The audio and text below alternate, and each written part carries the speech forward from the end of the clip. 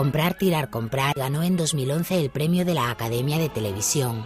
Un interesante trabajo que revela cómo la mayoría de las empresas diseñan sus productos para que duren mucho menos, para así incentivar el consumo. Life of lamps for general lighting service must not be guaranteed, published or offered for another value than 1000 hours. Todo empezó con la bombilla. And yet it's one of the early and best examples of planned obsolescence. The, the way the technology works, it's just designed to fail. Tras la crisis económica de 1929 se propuso una ley cuya base era la obsolescencia programada. Pretendían que todos los productos tuvieran fecha de caducidad para maximizar los beneficios y generar empleo. Planned obsolescence. The desire on the part of a consumer to own something a little newer, a little better, a little sooner than is necessary.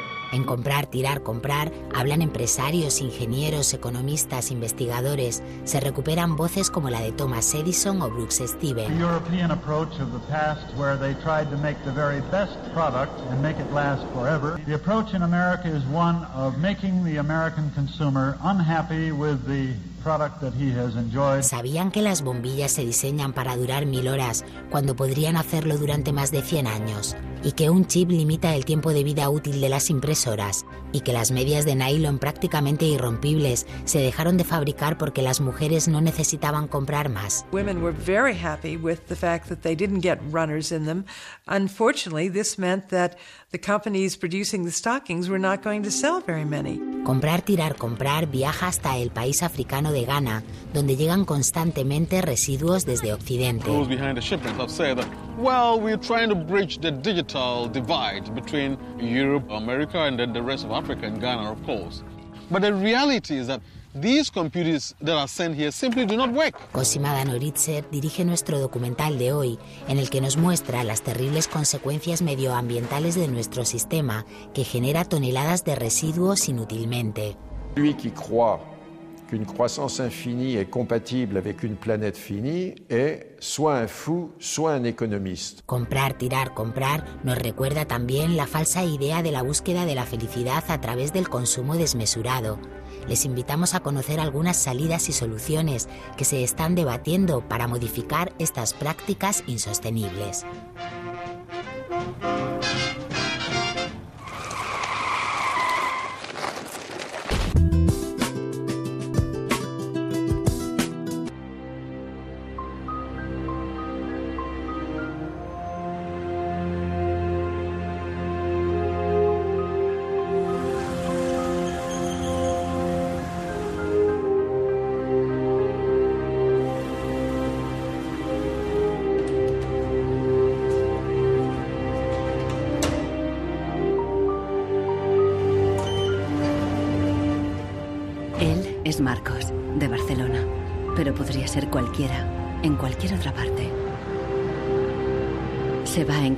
Algo que ocurre cada día en oficinas y hogares de todo el mundo.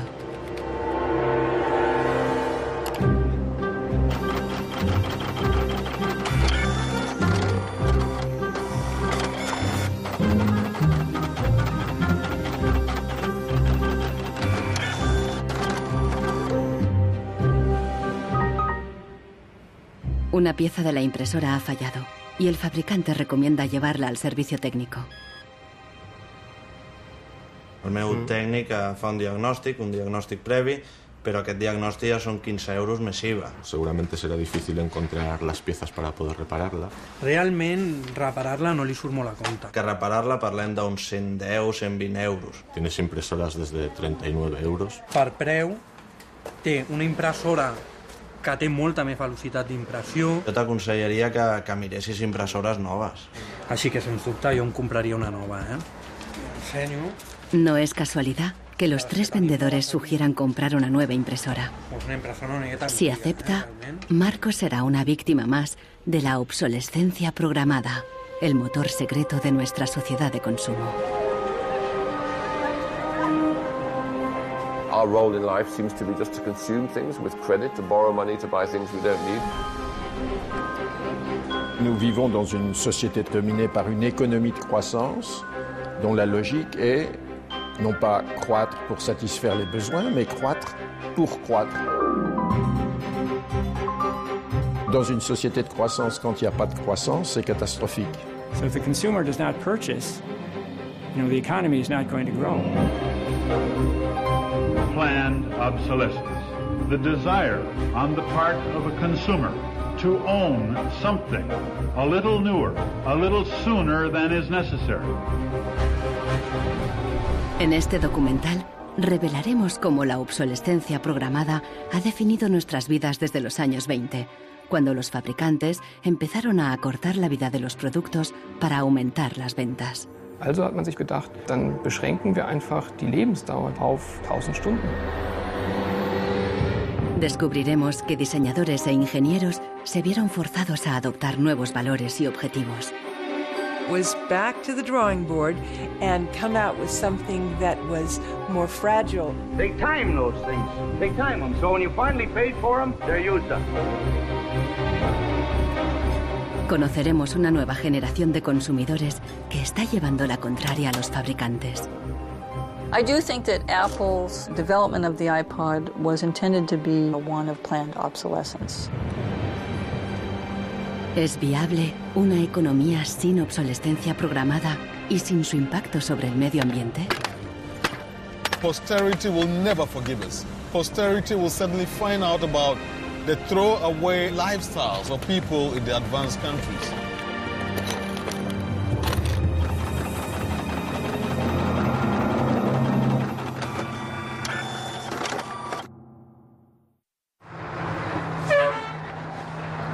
Welcome to Livermore, California, home of the longest burning light bulb in the world.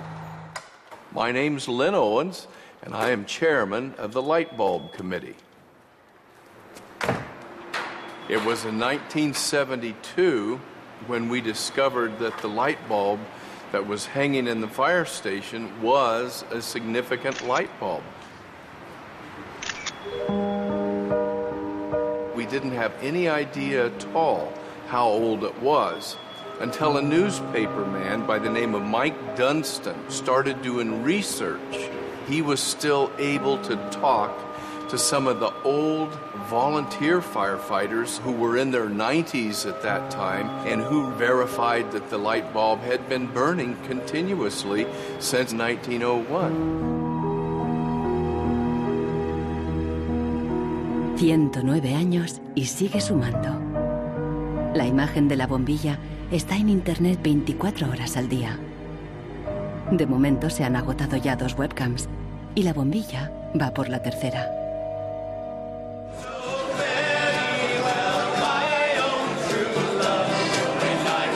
En 2001, cuando la bombilla cumplió un siglo, Livermore organizó una gran fiesta de cumpleaños al estilo americano. I think we were hoping if we would get 200 people, we'd be. And we ended up with eight or 900 people showing up.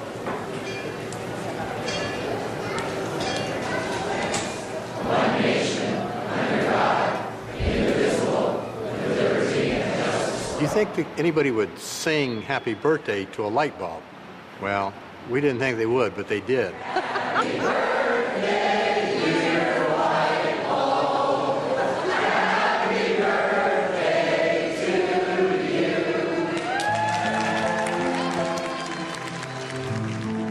The origin of the bulb was it was produced in a town called Shelby, Ohio, back around 1895 and put together by some very interesting ladies that I have some pictures of and some gentlemen that, that invested in the company.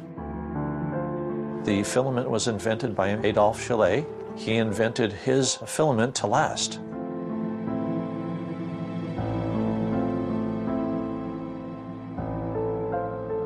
Why does his filament last? I don't know. It's a secret that he made and that died with him. La fórmula para un filamento de larga duración no es el único misterio en la historia de las bombillas. Un secreto mucho mayor es cómo y por qué este humilde producto se convirtió en la primera víctima de la obsolescencia programada. Weihnachten 1924 war ein ganz besonderer Tag. In einem Hinterzimmer in Genf trafen sich einige Herren in Nadelstreifenanzügen, um einem geheimen Plan nachzugehen. Sie gründeten das erste weltweite Kartell, das sich zum Ziel setzte, die Glühbirnenproduktion der gesamten Länder zu kontrollieren und den Kuchen namens Weltmarkt unter sich aufzuteilen. Dieses Kartell hat den Namen Phoebus. Phoebus incluía a los principales fabricantes de bombillas de Europa y de Estados Unidos, e incluso de lejanas colonias en Asia y África. Das Ziel ist gewesen, Patente auszutauschen, die Produktion zu kontrollieren und vor allem aber den Verbraucher zu kontrollieren. Ähm, es ist umso besser ähm, für diese Firmen, wenn der Verbraucher regelmäßig Glühlampen kauft. Und wenn die Glühlampen lange brennen, ist das ein ökonomischer Nachteil. En un principio, la meta de los fabricantes era una larga vida para sus bombillas. Numerous experiments resulted in the production of a small unit lamp of comparatively enormous resistance. The filament the En 1881, Edison puso a la venta su primera bombilla. Duraba 1500 horas. En 1924, cuando se fundó el cártel Phobos, se anunciaban con orgullo 2.500 horas de vida útil y los fabricantes destacaban la longevidad de sus bombillas. Also hat man sich bei Phobos gedacht, ähm, dann beschränken wir einfach die Lebensdauer dieser einzelnen Glühbirnen auf 1000 Stunden.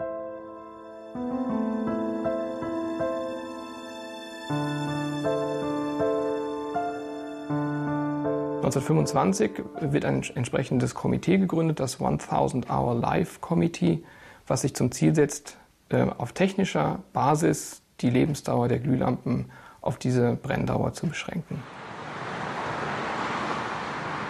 Más de 80 años después, Helmut Höge, un historiador de Berlín, encuentra pruebas de las actividades del comité ocultas entre los documentos internos de los miembros del cártel. Empresas como Philips en Holanda, Osram en Alemania y Lámparas Z en España. Hier haben wir ein Kartelldokument. Da steht, The average life of lamps for general lighting service must not be guaranteed, published or offered for another value than 1000 hours. Presionados por el cártel, los fabricantes realizaron experimentos para crear una bombilla más frágil que cumpliera con la nueva norma de las mil horas.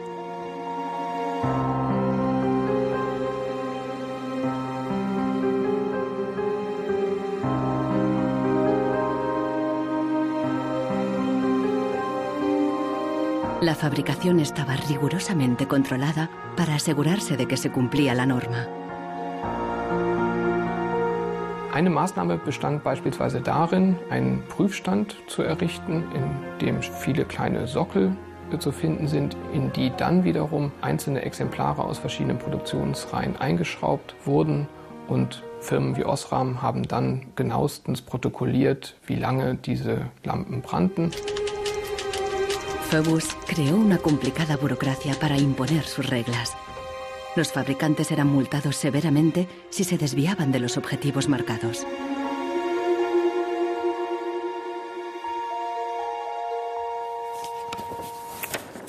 Hier haben wir eine Straftabelle aus dem Jahr 1929, die genau zeigt, wie viel Schweizer Franken Strafe für 1000 verkaufte Glühbirnen die Mitglieder des Kartells zahlen müssen, wenn die Lampen länger halten als zum Beispiel 1500 Stunden.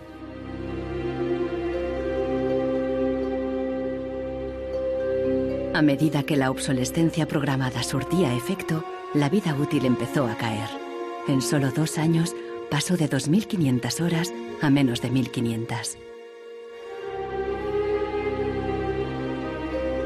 En los años 40, el cártel ya había conseguido su objetivo. Una bombilla estándar duraba mil horas.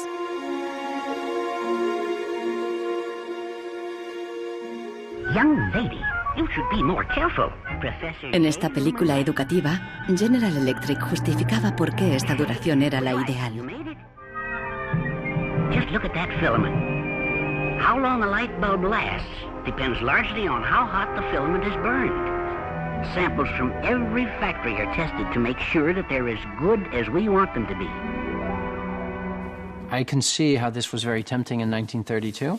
I think at the time sustainability was actually substantially less of an issue because I don't think they looked at the planet as being one with finite uh, amount of resources. They looked at it as from an abundance perspective.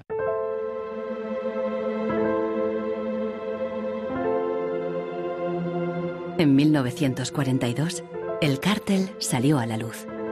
El gobierno americano demandó a General Electric y a otros fabricantes. Les acusó de competencia desleal, de fijar precios y de reducir la vida útil de las bombillas. Tras 11 años de litigio, el tribunal dictó sentencia en 1953. Entre otras cosas, los jueces prohibieron a General Electric y a sus socios limitar la vida útil de las bombillas. Pero en la práctica, la sentencia tuvo poco efecto y las bombillas continuaron durando mil horas.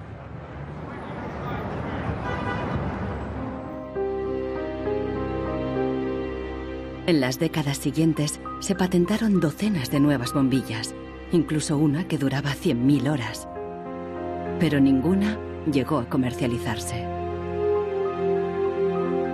Offiziell hat es ja Phobos eigentlich nie gegeben, wenn auch diese Spuren der Öffentlichkeit nie ganz verborgen gewesen sind. Die Strategie dahinter ist, sich in bestimmten Zeitabständen immer wieder umzubenennen. Dann heißt es mal internationales Elektrizitätskartell, dann mal wieder irgendein anderer Name. Ähm, entscheidend ist, dass diese Idee als Institution natürlich weiter besteht. Ironically, the light bulb has always been a symbol for ideas and innovation, and yet it's one of the early and best examples of planned obsolescence. Nichols Fox vive en un lugar perdido en las montañas de Virginia. Aquí escribe sobre el impacto social de la tecnología y a veces se atreve con la poesía.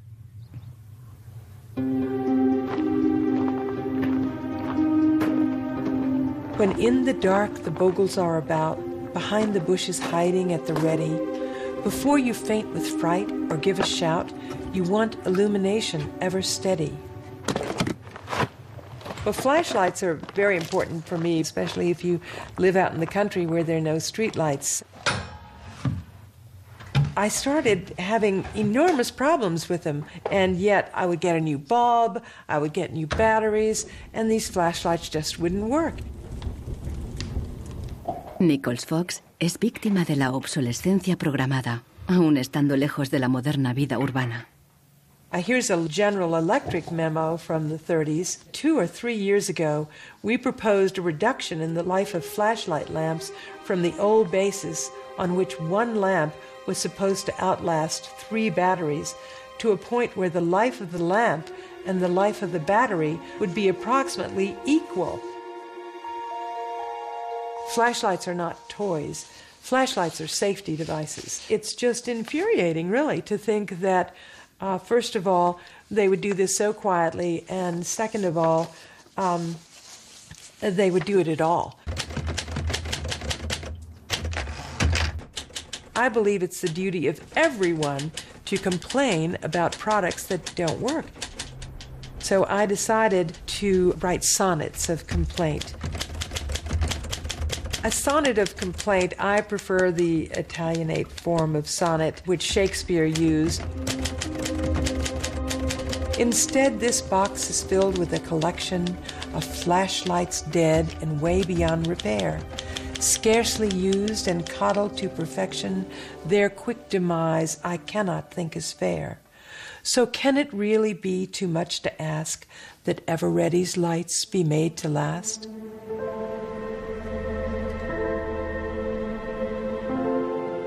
En Barcelona, Marcos ha ignorado el consejo de los vendedores de reemplazar la impresora. Está decidido a repararla, pero el manual ni tan solo menciona el problema. Buscando por los foros de Internet, descubre que no está solo. Doncs hi ha molta gent als fòrums que té els mateixos problemes que jo, que té problemes a la impressora, no l'imprimeix, es bloqueja i no poden fer res. Passa amb diverses marques d'impressores. Ninguno de los cientos de mensajes ofrece una solución. Marcos está buscando una aguja en un pajar.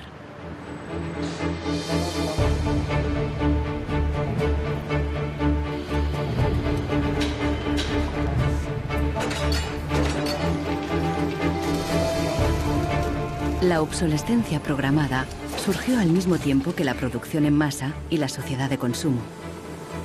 The whole issue with products being made to last less long is part of a whole pattern that began in the Industrial Revolution when the new machines were producing goods so much more cheaply, which was a great thing for consumers, but consumers couldn't keep up with the machines. There was so much production. Con la producción en masa bajaron los precios y muchos productos fueron más asequibles. Pero los fabricantes estaban preocupados. ¿Cuánto duraría esta bonanza? ¿Qué pasaría cuando todo el mundo lo tuviera todo?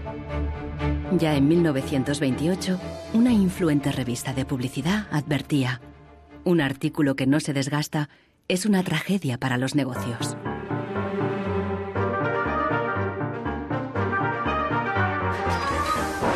La tragedia afectó especialmente a Henry Ford, el padre de la producción en cadena.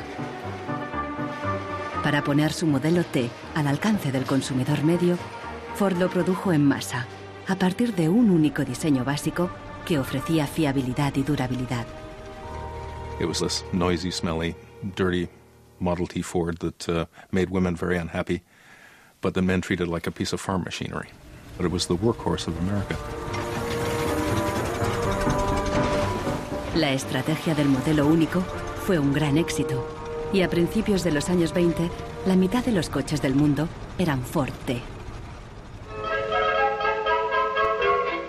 Para superar a Ford, sus competidores de General Motors apostaron por una estrategia diferente, ideada por su presidente Alfred Sloan. En lugar de hacer el nuevo Chevrolet tan fiable y duradero como el modelo T, Sloan le dio un giro radical y fundamentalmente estético. Sloan put uh, a new dress on it and gave a new lipstick and uh, put it out on the market for slightly less than the, what the Ford Model T sold for. And because it was a prettier design than the Model T, it sold like hotcakes. So he realized that he didn't have to beat Ford at his, uh, his engineering game. He could beat Ford at the design game. Sloan introdujo el concepto del modelo anual, con una sucesión de diferentes tamaños, formas y colores. Su objetivo era que los consumidores cambiaran de coche cada tres años.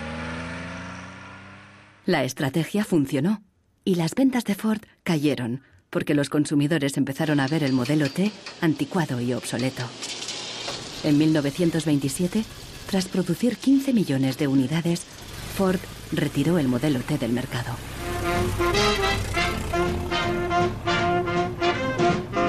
A partir de entonces, adoptó la misma estrategia que General Motors, con nuevos modelos cada año.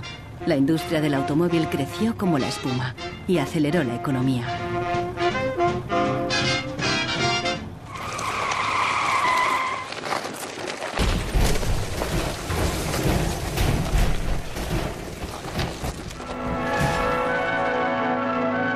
En 1929, la crisis de Wall Street frenó en seco la incipiente sociedad de consumo y llevó a los Estados Unidos a una profunda recesión económica. Unemployment reached staggering proportions. By 1933, one fourth of our labor force was unemployed. Las colas ya no eran para comprar, sino para pedir trabajo y comida. En 1933, el presidente Roosevelt introdujo el New Deal, su programa para sacar al país de la Gran Depresión, a través de enormes inversiones en obras públicas. Good, sound men and women wanted to earn the help they got, to hold up their heads, to keep themselves from going rusty. Retail business needed their purchasing power to stimulate trade.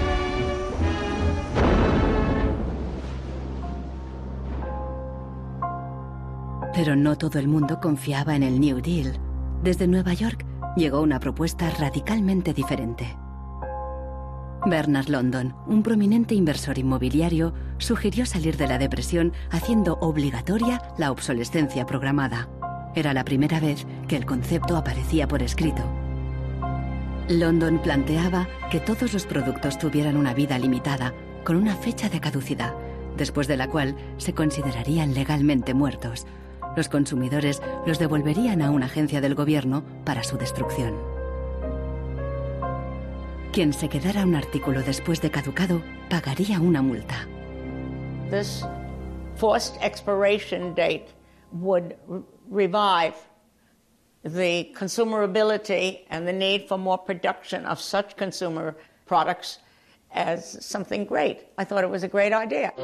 Bernard London creía que con la obsolescencia programada obligatoria, las fábricas seguirían produciendo, la gente continuaría consumiendo y habría trabajo para todos.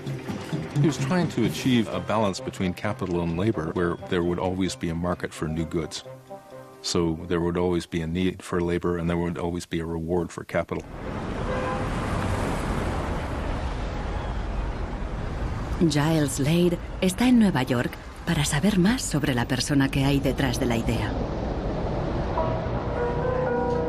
London era judío y llegó a Estados Unidos desde Europa del Este a principios del siglo XX. Entró en el negocio inmobiliario y ganó millones con numerosos proyectos de construcción por todo Nueva York. He was a man who was inclined to make money. He was a capitalist, but he was also a man who was a philanthropist. He looked out for the good of, uh, of his fellow man. Participó en muchos proyectos de beneficencia, especialmente en escuelas para niños judíos pobres. No queda claro si con la obsolescencia Bernard London pretendía maximizar los beneficios o bien ayudar a los parados. Giles Lade se pregunta sobre sus motivaciones personales y ha localizado a alguien que le conoció. I have a picture of Bernard London and uh, You one- do? Well, I think so, and, and I wonder Oh, if I don't believe I wonder if you'll be able to recognize him. He's he's there. Oh, don't the- tell me which one he Okay, is. and okay. Let's see. Oh, isn't that interesting? Yes. Definitely intellectual looking. And you met Bernard London in uh, 1933. When I was about 16, 17, my dad and mother had this big Cadillac car, which was the size of a Zeppelin. Mother was driving like a chauffeur. Dad was in the front, and Mr. and Mrs. London were in the back of the big limousine. Dad said that Mr. London should explain his philosophy to me. He's a very interesting man. And he just told me in a few words that that was his idea to reduce the depression. We were in an economic mess, worse than today even. Was obsessed with this idea. Like an artist is uh, utterly obsessed with his paintings, you know. He actually whispered to me in the car, afraid that his theory might be um, too radical. De hecho, la idea de Bernard London pasó inadvertida y la obsolescencia obligatoria nunca se puso en práctica.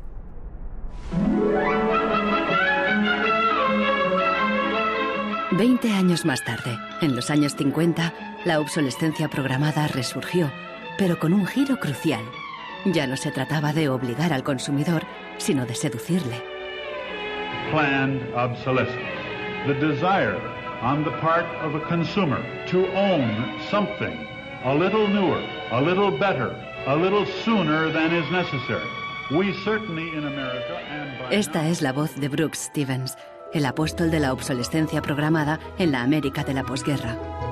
Este elegante diseñador industrial creó desde electrodomésticos hasta coches y trenes, contando siempre con la obsolescencia programada. A tono con la época, los diseños de Brooks Stevens transmitían velocidad y modernidad. Hasta su casa era inusual. This is the home that my father designed and that I grew up in. When it was being built out in the suburbs, everybody thought it was going to be the new Greyhound bus station because it did not look like a traditional home. Here's a family photo of my father, myself, my two older brothers, my older sister, and my mother. Our home was always filled with the products that he designed for his clients, like the lawn boy. So every few years we would get a new lawn boy mower. And my mother enjoyed cutting the grass herself. And to some degree, she would be doing some product testing because if there were things that she didn't like about it, you know, he would hear about it.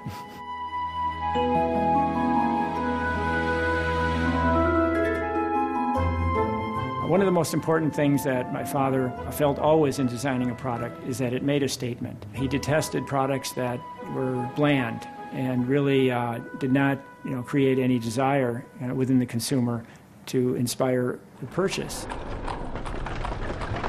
Unlike the European approach of the past where they tried to make the very best product and make it last forever, meaning you bought such a fine suit of clothes that you were married in it and then buried in it and never a chance to renew it. The approach in America is one of making the American consumer unhappy with the product that he has enjoyed the use of for a period, have him pass it on to the second-hand market, and obtain the newest product with the newest possible look. Brooks Stevens viajó por todos los Estados Unidos, promoviendo la obsolescencia programada en charlas y discursos. Sus ideas cuajaron y tuvieron un amplio eco.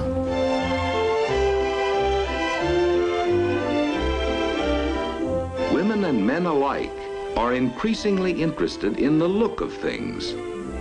They eagerly give their attention to what's new and beautiful and advanced. Oldsmobile's elegant golden rocket. Sports Outfits by Pat Primo of Los Angeles.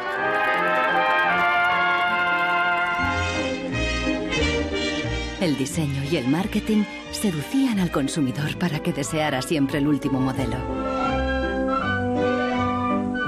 My father never designed a product to intentionally fail or become obsolete for some functional reason in a short period of time.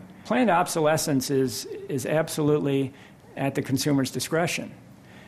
Uh, no one is forcing the consumer to go into the store uh, and purchase a product. Uh, you know, they go in under their own free will. That's their choice.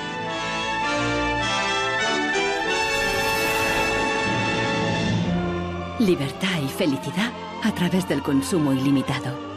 El estilo de vida americano de los años 50 sentó las bases de la sociedad de consumo actual.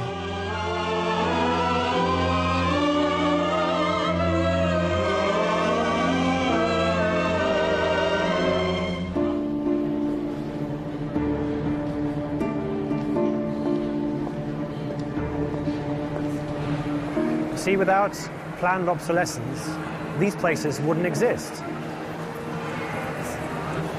There wouldn't be any products, there wouldn't be any industry, there wouldn't be any designers, architects, there wouldn't be any salespeople, cleaners, there wouldn't be any security guards. All the jobs would go. La obsolescencia programada está en la raíz del considerable crecimiento económico que el mundo occidental ha vivido a partir de los años 50. Desde entonces, el crecimiento ha sido el santo grial de nuestra economía. Nous vivons dans une société de croissance dont la logique est non pas croître pour satisfaire les besoins, mais croître pour croître, croître à l'infini, faire croître sans limite la production et pour euh, justifier cette croissance de la production, faire croître sans limite la consommation. Serge Latouche, un destacado crítico de la sociedad del crecimiento, escribe a menudo sobre sus mecanismos. Au fond, il y a trois instruments euh, fondamentaux qui sont euh, la publicité, l'obsolescence programmée et le crédit.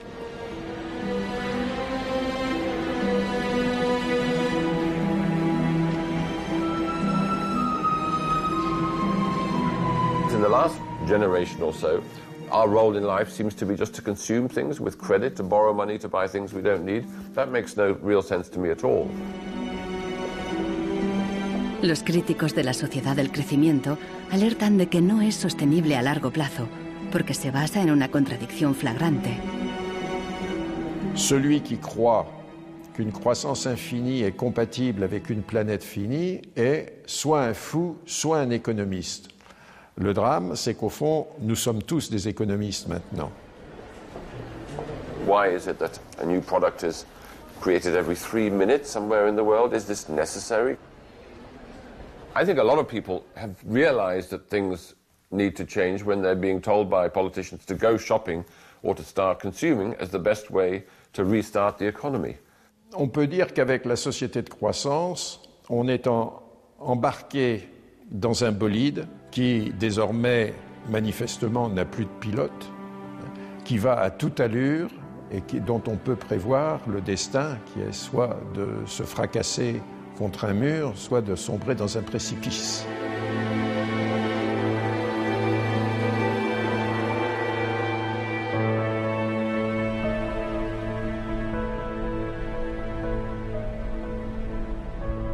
Marcos ha encontrado a alguien en Internet que ha descubierto qué le ocurre a su impresora. I tried to print a document and it said parts inside your printer require replacement. So I decided to do a little servicing of my own. Hello, Marcos. I got your message. Marcos ha contactado con el autor del video. How, how are you? I looked into it, and it's, it turns out that there's a there's a thing in the bottom of the printer called a waste ink reservoir. Um, and the way inkjet printers work is they constantly have to clean the, the print heads, and they do that by squirting ink through them down a hole in the bottom of the printer into this great big sponge. There's just a, a, a preset time when it's squirted a certain number of drops down there that then the printer decides it's full of ink and, and won't function anymore. Mm-hmm. The justification is they don't want to put ink all over your desk. But I, I think the problem goes deeper than that. It's the, the, the way the technology works. It's just designed to fail.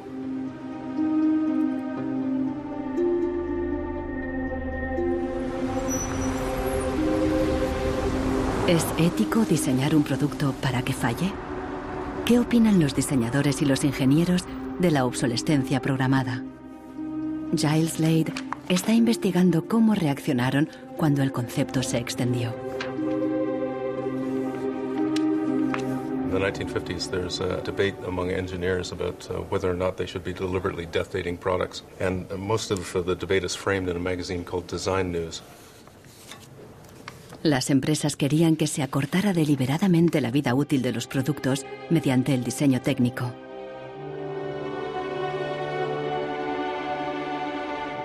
A lot of engineers felt that it was really a dirty strategy to make people pay for products that they deliberately broke. Las cartas al director de Design News reflejan la intensidad del debate. A nation such as ours, leader among nations, turns its engineers into destroyers. It is even a crime against the natural law of God, and that we waste that which He has given us. So, uh, engineers were in a really complicated ethical time. This confrontation with planned obsolescence provoked them to examine their most basic ethical concepts.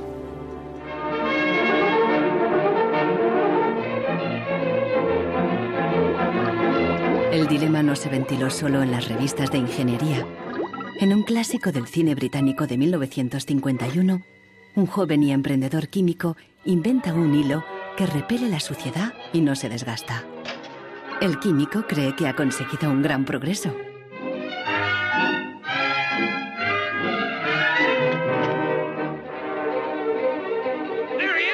Pero no a todo el mundo le gusta el invento. Y al poco le persiguen no tan solo los dueños de la fábrica, sino también los obreros, que temen por sus empleos. Well, that's really interesting, and it reminds me of something that actually happened in the textile industry. En 1940, el gigante químico DuPont presentó una fibra sintética revolucionaria, el nylon. Se formaron largas colas para comprar las nuevas y duraderas medias. There's a picture in here of me in tights. I think I've got one. Oh, yes, here it is. Stockings were a, a big issue in the 50s and the 60s. You had to wear them. To go out without stockings was really quite shocking. Quan tu t'arreglaves el diumenge que t'anaves a o al cine o te n'anaves a ballar, normalment et posaves la roba de vestir. Llavors, clar, requeria posar-te unes mitges boniques. I si estaves al ball i estaves ballant i amb un cop o el que fos se't feia un forat, ja no volies ballar més perquè se te veia el forat de la mitja. Las medias duraderas significaban un gran progreso, pero la alegría duró poco. My father worked for DuPont before and after the war in the nylon division, and he told me a story about how when nylon first came out and they were trying it out for use in stockings, the men in his division were asked to take these stockings home for their wives and girlfriends to try out. My father brought them home to my mother, and of course, she was one of the testers. She was delighted with the first products because they were so sturdy. Los químicos de Dupont tenían motivos para estar orgullosos. Incluso los hombres admiraban la resistencia de las medias de nylon. The problem was that they worked too well. They lasted too long. Uh, they were very, the women were very happy with the fact that they didn't get runners in them. Unfortunately, this meant that the companies producing the stockings were not going to sell very many. Dupont dio nuevas instrucciones al padre de Nichols Fox y sus colegas. For the men in his division, it was back to the drawing board to try to make the fibers weaker and come out with something that was more fragile and would run so that the stockings wouldn't last as long.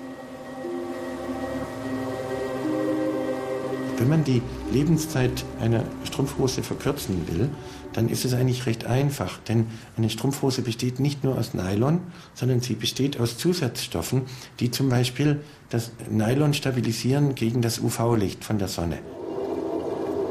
Jetzt kann man die Menge dieser Zusatzstoffe einfach variieren. Wenn man dafür wenig Zusatzstoffe oder gar keine reingibt, dann werden diese Strumpfhosen von der Sonne zerstört und dann reißen sie wesentlich leichter. Das heißt, man kann sozusagen den Zerfall, die Zerstörung einplanen.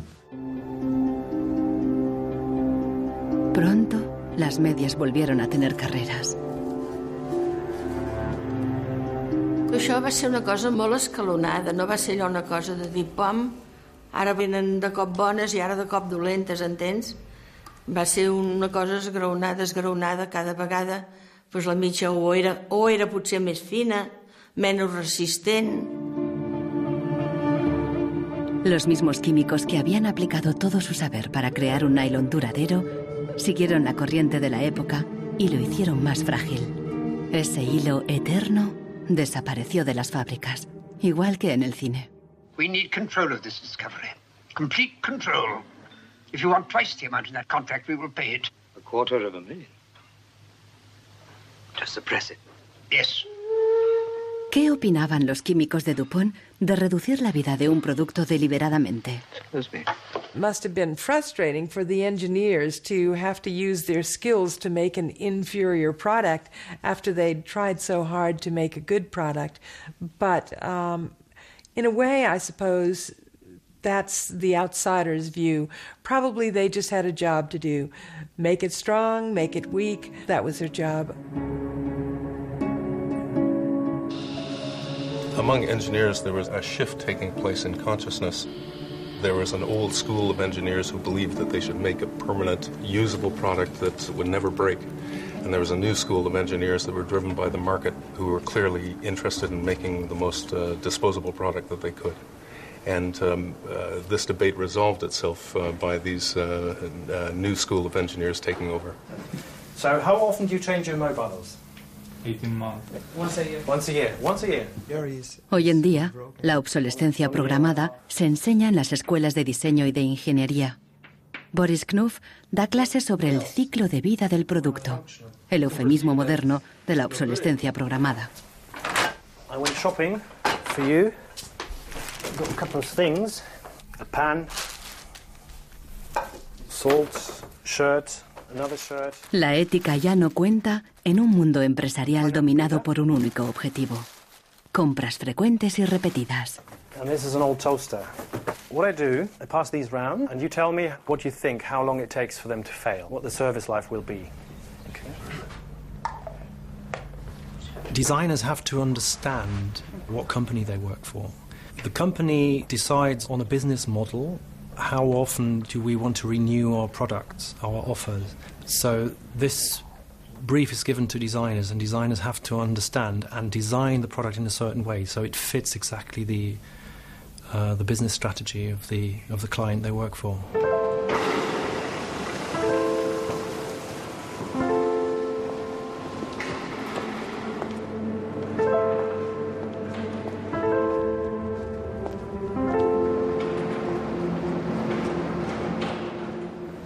Consultando manuales de instrucciones, Marcos se da cuenta de que los ingenieros determinan la vida útil de muchas impresoras al diseñarlas.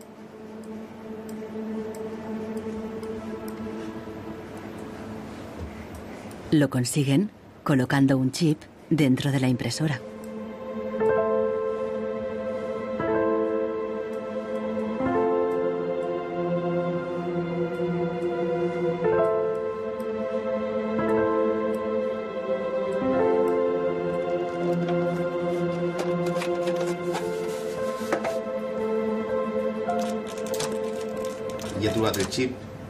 Un, una, una EPROM, que és un xip on es, es guarda una compta d'impressions. I quan s'arriba a una determinada quan es bloqueja la impressora i deixa d'imprimir. Ahora que ha descubierto al culpable, Marcos intentará poner en marcha de nuevo su impresora.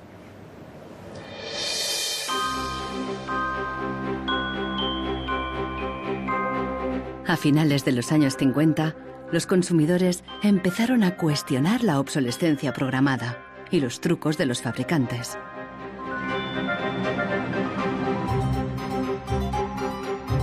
La Asociación de Consumidores de Estados Unidos puso a prueba la vida útil y la durabilidad de numerosos productos. La asociación publicó los resultados en su revista, de creciente tirada e influencia. También empezó a presionar para conseguir protección legal para el consumidor. Veinte años después, la asociación ganó una importante batalla contra la obsolescencia programada al promulgarse las primeras leyes sobre la garantía.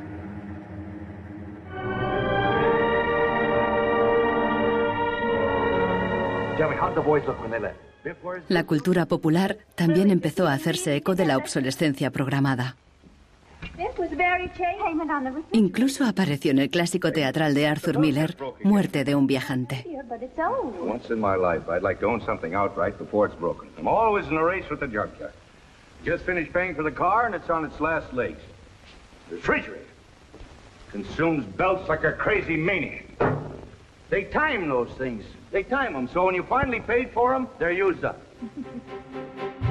The Waste Makers, publicado en 1960, fue el primer análisis académico de la obsolescencia programada. Su autor, Vance Packard, era famoso por un libro sobre el poder de la publicidad. Su nueva obra se convirtió en un bestseller. Packard aprovechó cualquier oportunidad para criticar una sociedad basada en el consumismo y el despilfarro. I have a feeling that we're in for some grim days ahead. I, uh, I think the, the over-commercialization of American life is starting to uh, change our American character in some ways that disturb me. I think we're becoming more self-indulgent as a people. And I think to some extent we're being encouraged to be more self-indulgent. Well, that's kind of a grim prophecy. Well, I, I well, wish I could be more cheerful. Los críticos de la sociedad de consumo vieron sus fallos, pero no se propusieron una alternativa radical, porque en aquella época ya existía una, al otro lado del telón de acero. A finales de los 50, en plena Guerra Fría, aún parecía posible la victoria del comunismo sobre el capitalismo como sistema político y económico.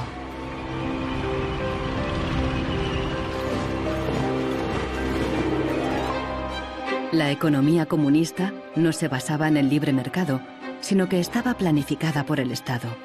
Era poco eficiente y sufría una falta de recursos crónica.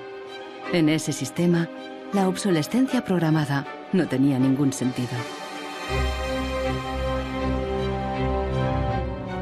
En la antigua Alemania del Este, la economía comunista más eficiente, las normas estipulaban que las neveras y las lavadoras debían funcionar durante 25 años.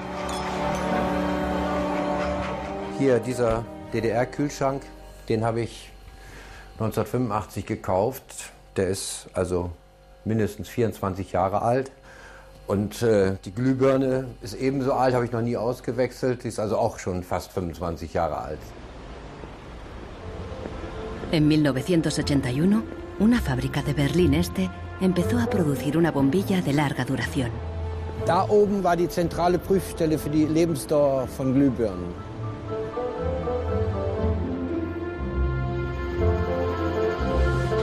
Los responsables de la fábrica presentaron la nueva bombilla en una feria internacional en busca de compradores occidentales. Als die ostdeutschen Glühlampenhersteller 1981 diese Langlebensdauerglühlampen auf der Hannoveraner Messe präsentierten, meinten ihre Westkollegen von Osram, ihr wollt euch wohl alle arbeitslos machen. Woraufhin die NAVA-Leute, Ingenieure antworteten, nein, im Gegenteil, indem wir Ressourcen schonen und den Wolfram nicht verpulvern, äh, behalten wir gerade unsere Arbeitsplätze. Los occidentales rechazaron la bombilla. En 1989 cayó el muro de Berlín. La fábrica cerró y la bombilla de larga duración dejó de producirse. Ahora solo se puede ver en exposiciones y museos.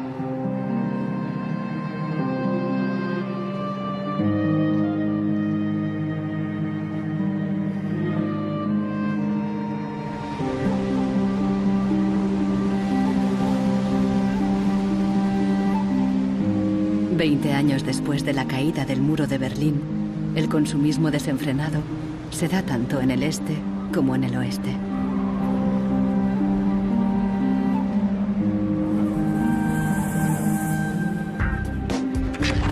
Con una diferencia.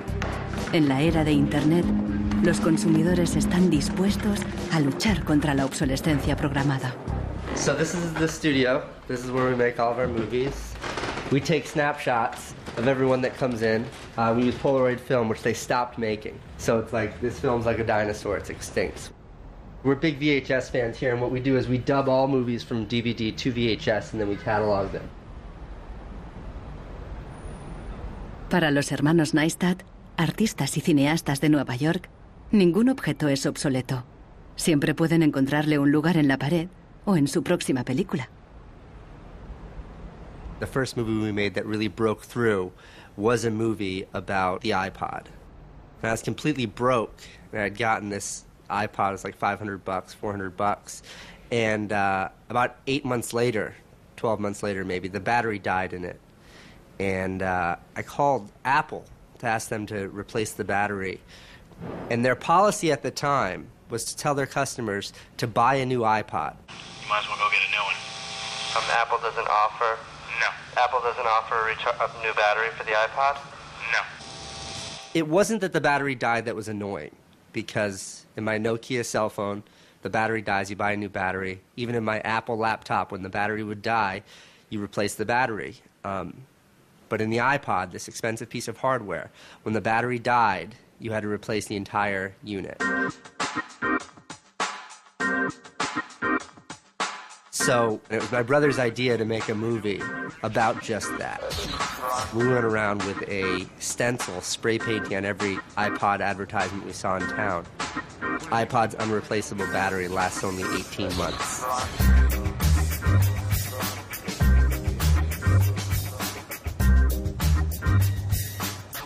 We put the video on our own little site, iPodsDirtySecret.com. The first month, six weeks, it was at five, six million views. And the site went absolutely bananas. Una abogada de San Francisco, Elizabeth Pritzker, oyó hablar del vídeo y decidió demandar a Apple por el tema de la batería del iPod. Medio siglo después del caso del cártel, la obsolescencia programada llegaba de nuevo a los tribunales.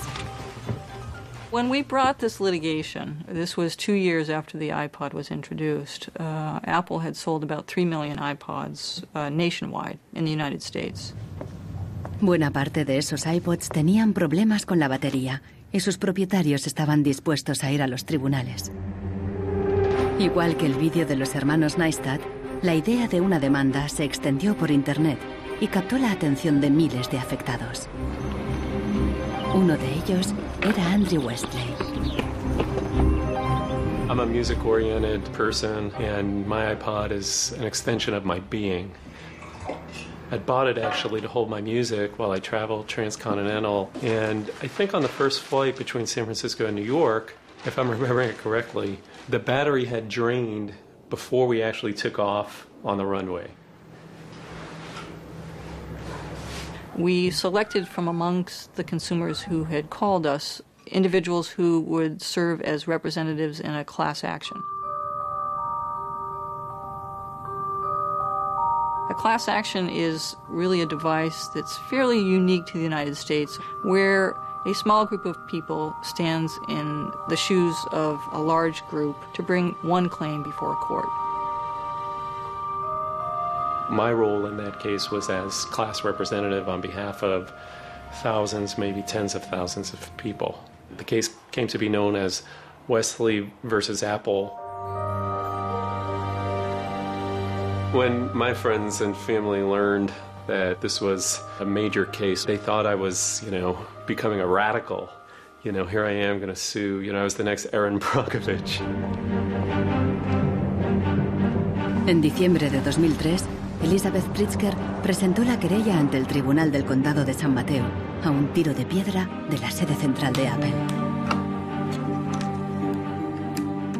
We asked Apple for a number of technical documents regarding the battery life in the iPod, and we received a lot of technical data about the battery design, about the testing of the battery, and learned through that discovery that the type of the lithium battery that was contained within this iPod was designed by design to really only have a short period of life. I do think that Apple's development of the iPod was intended to be uh, one of planned obsolescence. El caso nunca llegó a juicio. Después de meses de tensión, las dos partes llegaron a un acuerdo. Apple creó un servicio de recambio de las baterías y prolongó la garantía a dos años. Los querellantes recibieron una compensación. Andrew Westley aceptó un descuento de 50 dólares para un nuevo producto Apple. They retained me as a customer. I bought an expensive laptop, and so I couldn't help but think that in the end, really, the benefit of my specific settlement really was Apple's benefit. One thing that really bothers me personally is that uh, Apple really promotes itself as a young, hip, uh, forward thinking company. And for a company like that not to have a good environmental policy that allows consumers to return products for proper recycling and disposal uh, really uh, is really counterintuitive and counter to their message.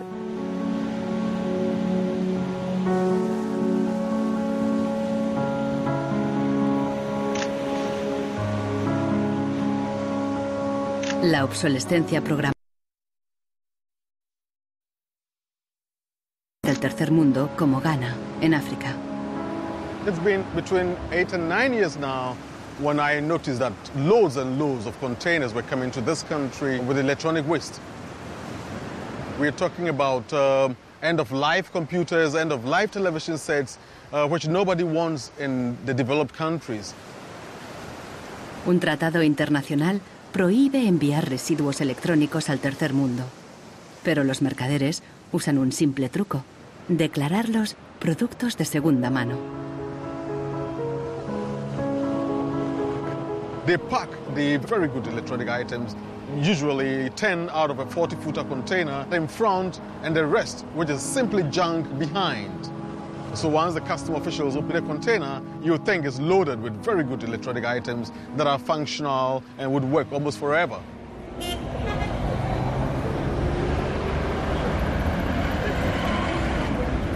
Los contenedores se descargan cerca del puerto donde comerciantes ganeses compran cualquier aparato que funcione o que se pueda reparar. De aquí los llevan a la capital, Accra. En Ghana, si algo se puede reparar, no se tira así como así. Andrew Obusu compra ordenadores de segunda mano de Europa y los repara. This machine is from. I this machine and then um, get to find out that the hard disk is not working. Then I change the hard disk, the one is working. And then this one too, um, the fault was from the VGA. Yeah, I changed the VGA, it was working. If I find out where the fault is, it takes about 30 minutes, 20, 10. Obusu vende estos ordenadores a estudiantes, escuelas y pequeñas empresas. No entiende la mentalidad de usar y tirar de los países desarrollados. But here Africa, it's not easy. Before a fellow gets computer, it's not easy. So that person will just throw it away. You, you service it.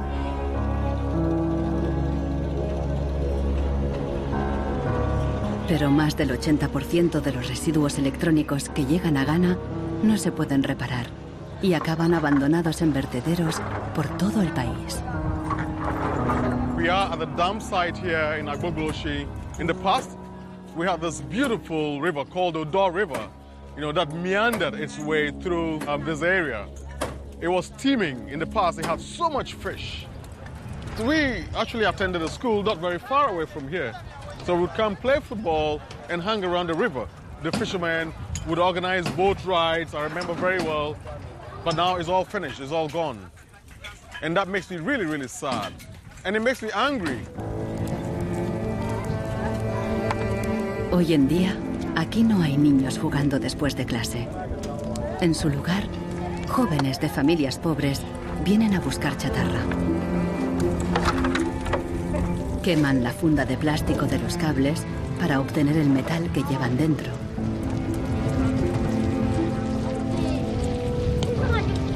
We get some from the computer, TV, and then the machines.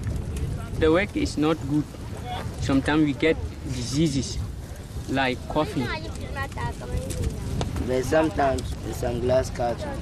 If evening time you can sleep and stand up. Los niños más pequeños rebuscan en los restos para encontrar cualquier pequeño trozo de metal que los mayores hayan olvidado. Los chatarreros compran este metal y lo revenden a países en crecimiento económico.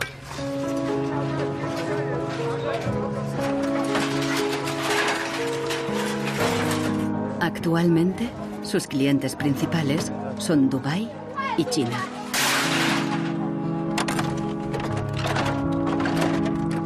Some of those behind the shipment have said that, well, we're trying to bridge the digital divide between Europe, America, and then the rest of Africa and Ghana, of course. But the reality is that these computers that are sent here simply do not work. There's no point in receiving um, electronic waste when you cannot deal with it, more so when you did not produce it and your country is being used as the world's trash bin.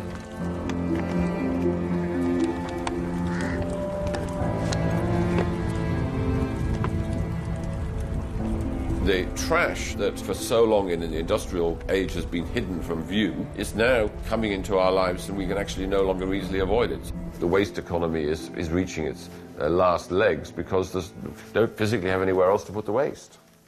Planned obsolescence, what I understand of it, is it has been driven because there are economical incentives to do so. It is more interesting for a company to build a product that doesn't last longer than three years or a thousand hours um, because then it can sell more products. I think in the course of time, we've come to realize that the planet that we're living on cannot sustain that forever. There's a limit to natural resources and there's a limit to energy resources that we have. Posterity will never forgive us. Posterity will certainly find out about the throwaway attitudes, the throwaway lifestyles of people in the advanced countries. Gente de todo el mundo ha empezado a actuar contra la obsolescencia programada. Mike Anane lucha desde el final de la cadena. Ha empezado recopilando información. This is where I keep um, the e-waste that have asset tags or property tags. This says Amu Center Nordwest Zeeland. It's from Denmark. This is from Germany, sent here simply to be dumped. Westminster College, Leeds City Council, also in the UK. This is from Italy. Apple, Apple should know better. It's a company that claims to be so green. There's a lot of Apple products that are being dumped here. I have a database that contain the asset tax, the contact um, addresses, telephone numbers of the companies that owned the electronic waste that have been dumped in Ghana. Mike piensa convertir esta información en pruebas para una denuncia ante un tribunal. We need to take some action, some punitive measure. We need to sue people so they stop dumping e-waste in Ghana. We have in the United States several models of legislation that I think could be adapted in this area. Uh, we have, for example, the Clean Air Act, the Clean Water Act. That type of legislation easily could be adapted to electronic or manufacturing process where you are requiring manufacturers who produce products to ensure that they are disposed of in a way that is environmentally uh, friendly. I think that we've got to stay on top of it. We've got to absolutely uh, in together. We've got to use the internet. We've got to blog about it, and we've got to band together the strength in numbers, and that's the only way to change it.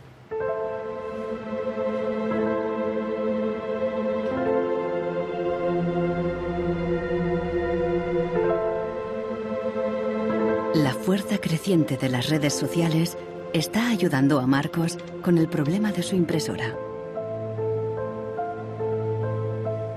Ha encontrado la aguja en el pajar, en Rusia. Una web parece ofrecer un software gratuito para impresoras con un chip contador. El programador se ha tomado la molestia de explicar su motivación personal. Some cryptic message. What parts inside your printer require service maintenance.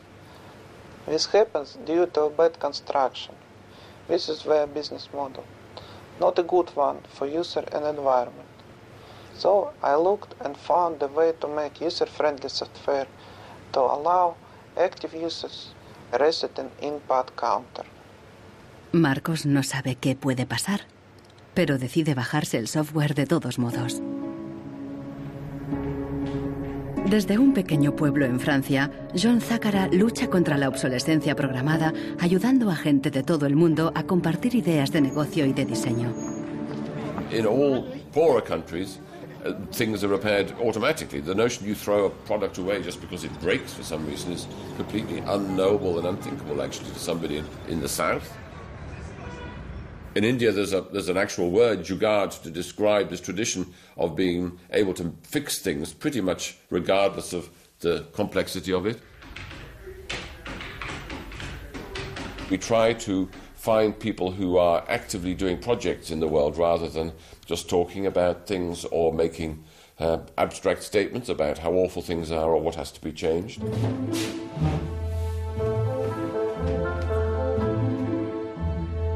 Uno de ellos es Warner Phillips, descendiente de la dinastía de los fabricantes de bombillas. I remember my grandfather taking me to one of the Philips factories in Eindhoven to show me how light bulbs were mass manufactured in factories, which is very, very cool. Casi un siglo después del cártel de la bombilla, Warner Phillips sigue la tradición familiar, pero con una perspectiva diferente. Fabrica una bombilla LED que dura 25 años. That means that you can use the same materials uh, once in 25 years rather than once every year. That means that you don't have to transport the product every, every year, but only once in 25 years. Para él, no es contradictorio fabricar productos de larga duración y dirigir un negocio rentable. It's not like there's a, a green world and there is a business world. I think business and sustainability go hand in hand. It's actually the best basis to build a business on. And the only really real way to do that, I believe, is to factor in the true cost of the resources that have been used, but you also look at the energy consumption. You also look at the indirect energy consumption of transportation. Si on faisait vraiment payer aux transporteurs le coût réel du transport, sans parler du fait que le pétrole est une ressource non renouvelable et pour lequel on n'a pas vraiment de substitut, Je dirais que le prix du transport devrait être multiplié par 20 ou 30. Avec un prix du kilomètre transporté multiplié par 20 ou 30, ça changerait beaucoup de choses. Una simple bombilla sería mucho más cara si su precio incluyera todos los costes ocultos, materias primas, emisiones de carbono y el impacto ambiental de la producción y el reciclaje. If you factor all of that in into every product that you manufacture, then we'll, there will be huge incentives for manufacturers and entrepreneurs all over the planet to make products that last forever. También se puede luchar contra la obsolescencia programada replanteando la ingeniería y la producción de los productos. Un concepto nuevo, de la cuna a la cuna. Afirma que si las fábricas funcionaran como la naturaleza, la propia obsolescencia quedaría obsoleta. Wenn man über Umweltschutz redet, meint man bei uns immer sparen, verzichten, vermeiden, reduzieren, Nullabfall, weniger schädlich. Wenn man sich die Natur aber im Frühling anschaut, ein Kirschbaum, kein Sparen, kein Verzichten, kein Vermeiden. El ciclo natural produce en abundancia, pero las flores caídas y las hojas secas no son residuos, sino nutrientes para otros organismos. Die Natur kennt keine Abfälle, sondern sie kennt nur Nährstoffe. Braungart cree que la industria puede imitar el ciclo virtuoso de la naturaleza y lo demostró al rediseñar el proceso de producción de una fábrica textil suiza. Wenn man zum Beispiel solchen einen Stoff hat dazu, ein Sofa damit bezieht oder ein Stuhl, dann ist, sind die Zuschnitte, was man abschneidet, so giftig, dass es als Sondermüll entsorgt werden muss. Braungart descubrió que la fábrica usaba, por inercia, cientos de tintes y productos químicos altamente tóxicos. Para fabricar los nuevos tejidos, Braungart y su equipo redujeron la lista a solo 36 sustancias, todas biodegradables. Wir suchen jetzt alle Zutaten raus, dass man sie auch essen könnte. Das heißt, Sie können die klein schneiden und in Müsli packen, wenn Sie wollen. Braungart cree que el concepto de la cuna a la cuna es aplicable a cualquier proceso industrial. Wir können alles nochmal neu erfinden, so dass es entweder biologisch nützlich ist oder technisch nützlich ist. Wenn man eine Müllgesellschaft hat, ist jedes kurzlebige Produkt natürlich ein Müllproblem. Wenn es aber eine Gesellschaft ist, die Nährstoffe macht, ist jedes kurzlebige Produkt wieder eine Chance, etwas Neues zu machen. Para los críticos más radicales de la obsolescencia programada, no basta con reformar los procesos productivos. Quieren replantear nuestra economía y nuestros valores. C'est une vraie révolution. C'est d'abord une révolution culturelle, parce que c'est un changement de paradigme, c'est un changement de mentalité. Esta revolución se llama decrecimiento. Al igual que Brooks Stevens en los años 50, Serge Latouche viaja de charla en charla, pero él propone abandonar totalmente el crecimiento. La décroissance, c'est un slogan provocateur qui a pour fonction de rompre avec le discours un peu euphorisant de, de, la croissance possible, infinie, soutenable, et donc pour marquer la nécessité de changer de logique, de sortir de cette logique de la démesure. L'essentiel du programme, en quelque sorte de la décroissance, tient en un mot réduire. Réduire notre empreinte écologique, réduire euh, nos gaspillages, notre surproduction, notre surconsommation. Réduisant la consommation, en réduisant la production, mais en libérant du temps libre, on peut développer d'autres formes de richesse qui ont l'avantage d'être, de, de, de ne pas s'épuiser quand on les consomme, comme l'amitié, le savoir. We increasingly rely on objects to give us a sense of self esteem and identity. It's partly the, the consequence of the breakdown of things that used to give us identity, like membership of a community or relationship to the land, or uh, all sorts of soft and social things which have been replaced by consumerism. Si le bonheur euh, dépendait euh, du niveau de consommation, on devrait être dans la félicité absolue parce que nous consommons 26 fois plus que du temps de Marx. Mais euh, toutes les enquêtes montrent que les gens ne sont pas 20 fois plus heureux. Peut-être même qu'il y a une relation inverse euh, au-delà d'un certain seuil, entre la croissance de la consommation et la croissance du sentiment de bonheur, parce que le bonheur est toujours quelque chose de subjectif, évidemment. Los críticos del decrecimiento temen que destruirá la economía y nos llevará de vuelta a la edad de piedra.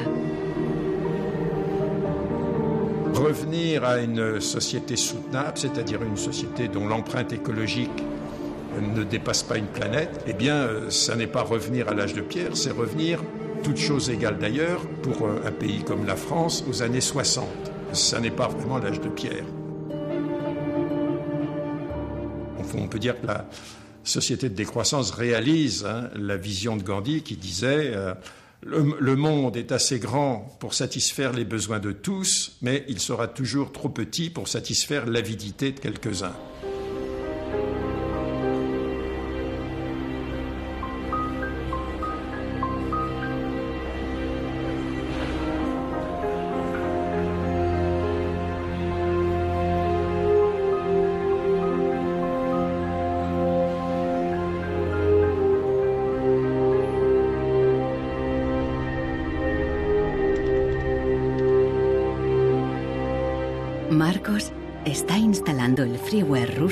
En su ordenador.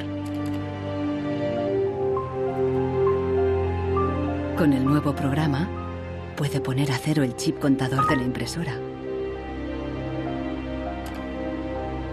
La impresora se desbloquea inmediatamente.